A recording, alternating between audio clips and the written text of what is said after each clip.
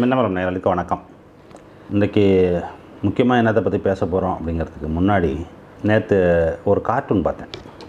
Times of இந்தியாவில் centre பேஜில் டில்பர்ட்னு ஒரு இது வரும். மொத்தம் மூணு படம் தான் இருக்கும். அதுக்குள்ளே வந்து அவர் ஒரு முக்கியமான ஒரு செய்தியை கடத்துவாங்க.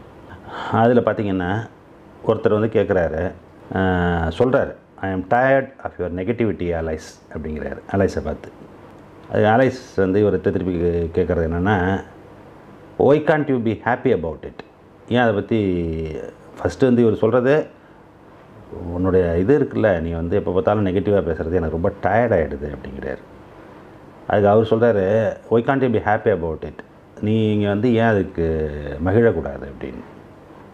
அதுக்கு அவர் ரொம்ப ஆக்ரோஷமாக இவர் என்ன சொல்கிறாருன்னு கேட்டிங்கன்னா how can I be happy about something negative ஏதாவது ஒரு விஷயம் மோசமாக நடந்துகிட்டு இருக்கும்போது அதை பார்த்துட்டு நான் எப்படி வந்து சந்தோஷம் பண்ண முடியும் அப்படின்னு. அதுக்கு இவர் என்ன பதில் சொல்கிறார் அப்படின்னு கேட்டிங்கன்னா நீ இப்போ என்ன தானே பண்ண சொல்கிற aren't you asking me to do that or I I missing the point அப்படிங்கிறத அது அதாவது நெகட்டிவாக பேசுறது நெகட்டிவாக பேசாதேங்கிற. நீ வந்து ஏன் அதில் நான் நெகட்டிவாக பேசுகிறேன் நீ சந்தோஷப்பட்டா என்னன்னா நீ நெகட்டிவாக ஒரு விஷயத்தை பார்த்தாக்க அதை பார்த்துட்டு நீ எப்படி சந்தோஷப்பட முடியும்? அதை பேசுகிறத கேட்டால் எப்படி சந்தோஷப்பட முடியும்? அப்படின்னு. அப்போ நீ வந்து என்ன செய்கிற அப்படின்னா நான் பார்க்குறேன்ல எது நெகட்டிவாக அதை பார்த்துட்டு நீ என்ன சொல்கிற நீ என்ன சந்தோஷப்பட சொல்கிறிய அது எப்படி அப்படின்னு கேட்குறாப்புல இப்போ புரியுதா உங்களுக்கு? இந்த பாசிட்டிவ் திங்கிங் நெகட்டிவ் திங்கிங் நான்சென்ஸ்லாம் எப்படி வருது அப்படின்ட்டு அதுதான் சங்கதி. இப்போ நம்ம வந்து நம்ம பசப்புற மொழியில் பேச மாட்டோம் பூசி மெழுக மாட்டோம் எல்லாம் நல்லா இருக்குன்னு கண்ணை முடிக்க மாட்டோம். அது இன்னும் ஒரு ஸ்டெப்பு மேலே போய் இன்னும் வேறு ஏதாவது அதை வந்து வியாபாரமாக்க மாட்டோம் அல்லது பொட்டி வாங்க மாட்டோம். அதெல்லாம் நமக்கு வந்து ஒன்றும் தேவையில்லாத வேலைன்னு வச்சுக்கோங்க. நம்ம மொழி வந்து கடுமையாக இருக்கும். நம்ம சொல்ல வர்றதை வந்து ஈ த தயவுதாட்சியம் இல்லாமல் சொல்கிறதுக்கு எப்படி முடியுது அப்படின்னு கேட்டிங்கன்னா யார்கிட்டையும் போய் நம்ம வந்து எதுக்கு நிற்கிறது இல்லை அப்படிங்கிறதுலேருந்து தான் வருது அது. அது அது வந்து ஒரு பெரிய கொடுப்பினைன்னு வச்சுங்களேன். அது நம்மளே வகுத்துக்கிற பாதை தானே. அதனால் இப்போ அதில் தொடர்ந்து தான் போயிட்டுருக்கோம். சரி இன்றைக்கி பேச வேண்டிய விஷயத்துக்கு வருவோம். இப்போ ஏன் அதை போய் நம்ம ரொம்ப தீவிரமாக ஆராய்ஞ்சிக்கிட்டு? இந்த பாசிட்டிவ் நெகட்டிவ்னு சொன்னதுக்காக உங்களுக்கு சொல்கிறேன் ஏன்னா நிறைய பேர் என்னை பற்றி வைக்கக்கூடிய விமர்சனங்கள் அதானே? நெகட்டிவாக பேசுகிறான் நெகட்டிவாக பேசுகிறான் அப்படிம்பாங்க. நெகட்டிவாக பேசுறது நெகட்டிவாக தான் பேசணும். பாசிட்டிவாக பேசுகிறத பாசிட்டிவாக தான் பேசணும். பாசிட்டிவாக நெகட்டிவாக பார்க்குறதோ நெகட்டிவாக பாசிட்டிவாக பார்க்குறதோ நான் பண்ணுற வேலை கிடையாது. அதெல்லாம் யார் பண்ணுவோம் அப்படின்னா ஸ்பின் டாக்டர்ஸ் ஆடெலாம் எழுதுகிறானுங்கள அவங்க பண்ண வேண்டிய வேலை. விளம்பரம் விளம்பரம் செய்கிறவர்கள் அது விளம்பரத்தை தொழிலாக வைப்பவர்கள் இல்லாதது அதில் இருக்குன்னு காட்டுறது இருக்கிறது இல்லைன்னு சொல்கிறது அதெல்லாம். ஒரு பிஸ்கெட்டில் சாப்பிட்டிங்கன்னா ஒரு ஒரு டம்ளர் பால் இருக்குது அப்படின்னு ஏதாவது ஒரு கப்ஸா விட்ற மாதிரி ஏதாவது ஒரு ஒன்று எழுதுவாங்கல்ல. அந்த மாதிரி விஷயங்கள். அது இப்போ அது மாதிரி அரசியலில் செய்கிறதுக்குலாம் நிறைய ஆட்கள் இருக்காங்க. இன்னும் கேவலமாக அது பண்ணுறது கூட பண்ண தெரியாமல் கண்ணா அப்படின்னு பண்ணுறாள்லாம் இருக்குது அதனால் அந்த மாதிரி நாலாந்தரமான விஷயங்களை பற்றி இப்போ நம்ம பேசி நம்ம நேரத்தை வீணாக்க வேண்டியதில்லை. அதை தொழிலாக வச்சு நடத்துகிறவங்களும் இருக்காங்க. நடத்தட்டும் ஏன்னா ஒவ்வொருத்தருக்கும் பிழைக்கணும்ல. அவனுக்கு வயிறு இருக்குது அவனுக்கு பசிக்கும். அவன் சாப்பிட்ணும் இல்லையா? அவன் காசை பார்க்கணும். அப்போ அதில் இது மாதிரி ஒரு மாரல் ஹை கிரவுண்ட்ஸ்னு சொல்கிறது எப்படின்னா நான் ரொம்ப யோக்கியமானவன் படம் காமிச்சிக்கிட்டு அதுக்கு வந்து எவிடன்சஸ் அவர்கள் வைப்பார்கள். அதெல்லாம் நம்ம கேட்டுக்கிட்டு ஆமாம் உன்னை மாதிரி புனிதன் உண்டா? உன்னை புனிதப்படுத்திட்டீங்கன்னு வச்சுக்கலாம் அந்த மொழியை புனிதமாக்கிறது அது அவங்க எழுதுகிற எழுத்து அந்த பசப்பு இருக்குல்ல பசப்புற மொழியில் அந்த புனிதத்தை சேர்த்துட்டோம்னு வச்சுக்கோங்களேன் மற்றவங்களாம் எதுவும் கேள்வி கேட்க மாட்டாங்கிறது அவங்களுடைய எண்ணம். அப்படி தான் வந்து கடவுள் பேரால் வந்து இவங்க எப்படி பசப்பிக்கிட்டு இருக்கிறதோ அது மாதிரி அவங்களே அவங்கள கடவுளாக்கிக்குவாங்க. சரி. இப்போ இன்றைக்கி வந்து என்னென்னா இந்த சுப்ரீம் கோர்ட் நேற்று வந்து அரசு அரசுகிட்ட பல விஷயங்களை பற்றி பேசியிருக்கு. அது வந்து சுவமோட்டோ சுவமோட்டோன்னு சொன்னாக்கா தானாக முன் வந்து ஒரு வழக்கு எடுத்து விசாரிக்கிறது அப்படின்னு விசாரிச்சிருக்கு. அது எந்த வழக்கு அப்படின்னா இந்த மாதிரி இரண்டாம் அலை கொரோனா இரண்டாம் அலை இருக்குல்ல அந்த இரண்டாம் அலை. அந்த இரண்டாம் அலையில் பற்றி விசாரிக்கும் பொழுது அதில் பல விஷயங்களை வந்து அவர்கள் கருத்து தெரிவிச்சிருக்காங்க. உத்தரவுகள் இல்லை. இப்போ நான் எப்படி கருத்து தெரிவிக்கிறேனோ அது மாதிரி அவர்களும் கருத்து தான் தெரிவிச்சிருக்காங்க அது மாதிரினா நான் வந்து சுப்ரீம் கோர்ட்டுக்கு இணை கிடையாது. ஏன்னா சுப்ரீம் கோர்ட் வந்து உத்தரவு போடக்கூடிய சர்வ வல்லமை படைத்த ஒரு அமைப்பு. நான் வந்து என்ன செய்ய முடியும் அப்படின்னாக்க இந்த மாதிரி வீட்டுக்குள்ள உட்காந்துக்கிட்டு இந்த மாதிரி வீடியோ பதிவு தான் போட முடியும் என்னால். இதை படித்தது தெரிஞ்சதை வச்சுக்கிட்டு நமக்கு யோசனையில் என்ன வருதோ அதை வச்சுக்கிட்டு இந்த மாதிரி இப்படி நடக்குது அப்படி நடக்குது அப்படின்னு நம்ம ஆதங்கத்தை கொட்டுறதும் நம்மளுடைய அயற்சியை அவங்களோட பகிர்ந்துக்கிறதும் அதை நம்ம தொடர்ந்து செய்துகிட்ருக்கோம் இருக்கோம். இப்போ சுப்ரீம் கோர்ட் என்ன பண்ணியிருக்கு அப்படின்னாக்கா இந்த மாதிரி பல கேள்விகள் கேட்டிருக்கு இந்த கொ- கொரோனா சமயத்தில். அது ரொம்ப பல மு- ஒரு மு- மூணு நாலு அஞ்சு ஆறு பாயிண்ட் முக்கியமான பாயிண்ட் இருக்குது ஒரு பாயிண்ட் என்னென்னா இந்த மாதிரி எங்களுக்கு பெட் வேணும் எங்களுக்கு ஆக்சிஜன் இல்லை அல்லது எங்களுக்கு மருந்து கிடைக்கல அப்படின்னு சொல்லி ட்வீட் பண்ணுறதோ அல்லது ஃபேஸ்புக்கில் எழுதுறதோ அல்லது சோஷியல் மீடியா வழியாக தங்களுடைய தேவைகளை வந்து மக்கள் தெரிவிக்கும் பொழுது நீங்கள் என்ன செய்யக்கூடாது அப்படின்னாக்கா அது வந்து அவதூறு பரப்புவதாக நீங்கள் கேஸை புக் பண்ணுறது எஃப்ஐஆர் ஃபைல் பண்ணுறது அதெல்லாம் பண்ணிங்கன்னா ஸ்டேட் கவர்மெண்ட்ஸும் சரி அந்த போலீஸ் ஆஃபீஸர்ஸ் இருக்காங்கள அவங்களெல்லாம் கண்டெம்ட் ஆஃப் கோர்ட் ஆகி அதான் நாங்கள் கருதுவோம் அப்படின்னு சொல்லி ஒரு க உத்தரவு ஒரு ஒரு அப்- இது அது அப்சர்வேஷனாக அதை இதுவாக ஆர்டராக நான் ஆர்டர் போடல நினைக்கிறேன் வேறு அப்சர்வேஷனாக அது என்னென்னு தெரியல அது லீகல் எக்ஸ்பர்ட்ஸ் தான் கேட்கணும் அது என்னன்ட்டு. இதை பேப்பரில் படித்தது வரைக்கும் எனக்கு ஒன்றும் புரியல. அது மாதிரி நாங்கள் சொ கருதுவோம் அப்படின்னு சொல்லி அந்த பெஞ்சில் இருக்கக்கூடிய ஒரு ஜட்ஜு சந்திரசூட் அவர் வந்து சொல்லியிருக்காரு. அது ஒரு ஒரு ஒரு நல்ல விஷயம். ஏன் அப்படின்னு கேட்டிங்கன்னா இப்போ உத்தரப்பிரதேசத்தில் நடந்த வி- சங்கதிகள்லாம் நம்ம நீங்கள் படிச்சிருப்பீங்க கேட்டிருப்பீங்க. இந்த மாதிரி ஒரு ஒரு ஒரு ஒரு கேஸ் என்னன்னாக்கா இந்த மாதிரி எங்கள் தாத்தாவுக்கு இது வேணும் அது வேணும் அப்படின்னு சொல்லும்பொழுது அது தொடர்பாக வந்து நாங்கள் தொடர்பு கொண்டோம். அவங்கள தொடர்பு கொள்ள முடியலன்னு அடவை விட்டுறணும்ல. அதுக்கப்புறம் என்னன்னாக்கா அதை ப அந்த ட்வீட்டை போட்ட ஆள் மேலே வந்து எஃப்ஐஆர் ஃபைல் பண்ணி வச்சுருக்காங்க அப்போ அரெஸ்ட் பண்ணிட்டாங்களா இல்லையான்னு தெரியல. இந்த மாதிரி பல இடங்களில் இந்த மாதிரி அது வந்து அந்த மாநிலத்துடைய முதலமைச்சர் வர சொல்லிட்டு இருக்காரு யாரும் இது மாதிரிலாம் போடக்கூடாது. எங்களுக்கு அவப்பேரை ஏற்படுத்துகிறீங்க அப்படின்ட்டு. எல்லாம் நல்லா தானே இருக்குது அப்படின்னு. அப்படின்னா என்னன்னு கேட்டிங்கன்னா அவர்கள் வந்து முன்னாடி ஒரு தடவை மோடி வந்து அங்கே போய் பேசினாராம். என்ன பேசினாராம்? இந்த மாதிரி உத்தரப்பிரதேசத்தில் தேர்தல் சமயத்தில் இந்த மாதிரி இஸ்லாமியர்களுக்கு வந்து அவருடைய வை- அவர்களுக்கு வைக்கக்கூடிய சமாதிகள் இருக்குல்ல அதுக்கு வந்து அரசு வந்து இந்துக்களுக்கு வைக்கக்கூடிய சுடுகாட்டுக்கு செலவு பண்ணுறத விட அதிகமாக செலவு பண்ணுறது அப்படின்ட்டு. அந்த வாக்கு இது இருக்குல்ல அப்போ வந்து கூட்டத்தில் இருக்கவங்களாம் எங்களுக்கும் கூட செலவு பண்ணு எங்களுக்கும் கூட செலவு பண்ணணும்னு கத்துனானவங்களாம் யார்?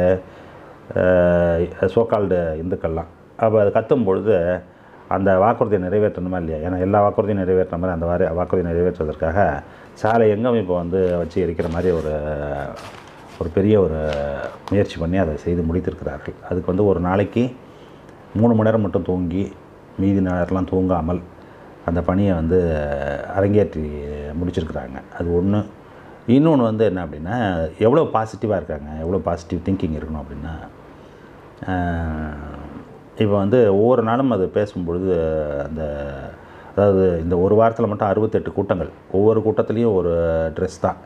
அந்த ட்ரெஸ் எப்படி இருக்குன்னா இங்கெல்லாம் அந்த வேட்டி சட்டையெல்லாம் தயார் பண்ணுறாங்க அப்படின்னா வேட்டியில் இருக்க கரை இருக்குல்ல அது எந்த கலரில் இருக்கோ அதே கலரில் வந்து சட்டை கலர் சட்டையும் அதே கலரில் இருக்கும். இந்த பொம்பளைங்களாம் தான் முன்னாடி இது போடுவாங்கள்ல இப்போ புடவைக்கு ஏற்ற சட்டை மேட்சிங் மேட்சிங் ப்ளவுஸ் அது மாதிரி இப்போ மேட்சிங் சட்டை.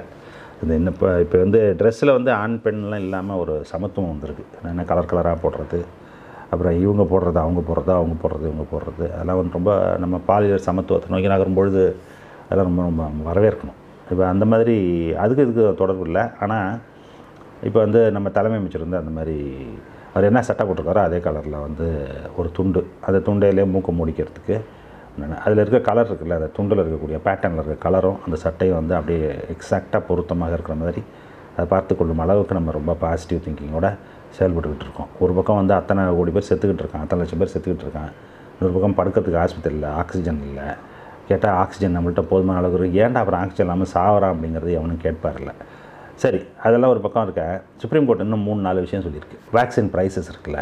வேக்சின் ப்ரைஸஸ் அதுக்கு உண்டான விலையை நீங்கள் எப்படி வந்து இந்த மாதிரி அவர்களே தீர்மானிச்சுக்கலாம்னு முடிவு விட்டீங்க அப்படிங்கிறது ஒன்று ஒரு கேள்வி. ரெண்டாவது வந்து அவர்கள் வந்து எந்த அடிப்படையில் வந்து அந்த விலையை தீர்மானிச்சிருக்காங்க? ரெண்டாவது கேள்வி. மூணாவது கேள்வி வந்து நீங்கள் வந்து எவ்வளோ இன்வெஸ்ட் பண்ணியிருக்கீங்க? அதில் அவர்களுக்கு எவ்வளோ பணம் கொடுத்துருக்கீங்க? ரெண்டு நாலாவது கேள்வி வந்து அவர்கள் ஐரோப்பாவில் விற்கும்போது அவர்கள் என்ன விலைக்கு விற்கிறாங்க? அமெரிக்காவில் விற்கும்போது என்ன விலைக்கு விற்கிறாங்க? இங்கே என்ன விலைக்கு விற்கிறாங்க? இதெல்லாம் வந்து இந்த வேக்சினை தொடர்பான வேக்சின் விலை சம்மந்தமான கேள்விகள். அது இல்லாமல் இன்னொரு கேள்வி முக்கியமான கேள்வி கேட்டிருக்காங்க. எப்படி அந்த மாதிரி மூணு விலை விற்கிறதுக்கு நீங்கள் அந்த அந்த கம்பெனிகள் வைக்கிது? எப்படின்னா உங்களுக்கு விற்கும்போது நூற்றம்பது அதுக்கப்புறம் வந்து மாநிலங்களுக்கு நானூறு முந்நூறு அதுக்கப்புறம் வெளி மார்க்கெட்டுக்கு ஆயிரத்தி இரநூறுன்னு சொல்கிறான் ஆயிரத்தி அறநூறுன்னு சொல்கிறான் இதெல்லாம் எப்படி சாத்தியமாச்சு?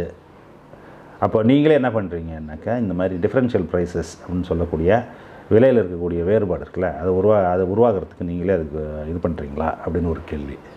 அதுக்கு பிறகு இந்த கோவின்னு ஒரு வெப்சைட் வச்சுருக்கீங்களே அதில் போய் வந்து எப்படி அவர்களால் வந்து பதிய முடியும்? எல்லா ஊர்லேயும் நெட் இருக்கா? எல்லாருக்கும் பதிய தெரியுமா? படித்தவர்கள் படிக்காதவர்கள் எல்லாருக்கும் வந்து சமமான வாய்ப்பு தானே கொடுக்கணும் வேக்சினை பொறுத்த வரைக்கும். எப்படி நீங்கள் இந்த மாதிரி ஒரு திட்டத்தை செயல்படுத்துகிறீங்கன்னு அடுத்த ஒரு கேள்வி. அதற்கு அடுத்த ஒரு கேள்வி இந்த விலை வந்து இந்த மாதிரி இப்படிலாம் வச்சாக்க இந்த நாற்பத்தஞ்சு வயசு கீழே இருக்கவங்கலாம் நீங்கள் சொல்கிற திட்டப்படி பார்த்தாக்க காசு கொடுத்து தான் போட்டுக்கணும்னு ஒரு சூழ்நிலை வரும்பொழுதுனா அந்த அவனால் எப்படி அவனால் அஃபோர்ட் பண்ண முடியும்? போராக இருக்கவன் முடியாதவன் அவன்லாம் வந்து எப்படி அதை வந்து அந்த ஊசியை பெற முடியும் போட முடியும்? அப்போ அதுக்குண்டான முடிவுகளை ஏன் நீங்கள் சரியான முறையில் எடுக்கலை? அப்படின்னு அதுக்கப்புறம் வந்து என்ன வந்து அந்த லைசன்சிங் பாலிசி இருக்குல்ல அதில் நீங்கள் என்னென்ன எல்லாம் பண்ணியிருக்கீங்க இது வரைக்கும்? யாருக்கு லைசன்ஸ் கொடுத்துருக்கீங்க?